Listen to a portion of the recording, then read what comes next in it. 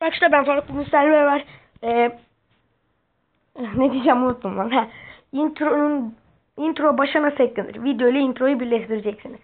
E, ilk başta video der lazım bunun için. Videolara giriyorsunuz ve ilk seçenek çıkacak video düzenleme diye. Oraya giriyorsunuz böyle bir ekran çıkacak. Buradan genellikle tümünden başlar. Siz onu video yapıyorsunuz. Yaptınız ve ilk başta kullanacağınız introyu başa koyuyorsunuz. İkinci olaraksa eee Geç buradan. Mesela diyelim ya da dur. Şunu ekleyeyim. Heh, şunu ekliyorsunuz. Başla diyorsunuz. E, buradan bir şey eklemek istemiyorsunuz. Kapa. Fast mod. Size kalmış.